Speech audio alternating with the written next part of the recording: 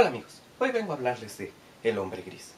Película sobre el último integrante de una división especial de agentes de la CIA conocida como los Hombres Grises, quien tras darse cuenta de que el más reciente objetivo de dicha agencia era uno de sus predecesores, decide darse a la fuga anticipando con certeza que ahora él podría ser el siguiente. Esta es a grandes rasgos la premisa de este largometraje que supone el regreso al cine de acción de los hermanos Russo en calidad de directores, y al igual que sus trabajos anteriores ajenos al universo Marvel Disney, si bien el hombre gris está ligeramente por encima del promedio, tampoco es como que sea lo suficientemente sobresaliente como para trascender o incluso recomendarla a quien no le guste el cine de acción en primer lugar, ya que su principal apelativo, además de sus secuencias de acción en su mayoría competentes con alguno que otro momento destacable, es básicamente el enfrentamiento entre los personajes evocados por sus actores principales, asumiendo que les interese ver el duelo hipotético entre el protagonista de Drive y una mezcla de los antagonistas que Chris Evans interpretó en Scott Pilgrim, El Hombre del Hielo y Entre Navajas y Secretos, combinación que podría sonar rara, pero que en retrospectiva es quizás lo más llamativo de la película, puesto que el resto del reparto, aun siendo competente, tampoco es como que pueda hacer mucho con un guion así de mundano donde al menos tuvieron la cortesía de priorizar la acción por encima de la historia,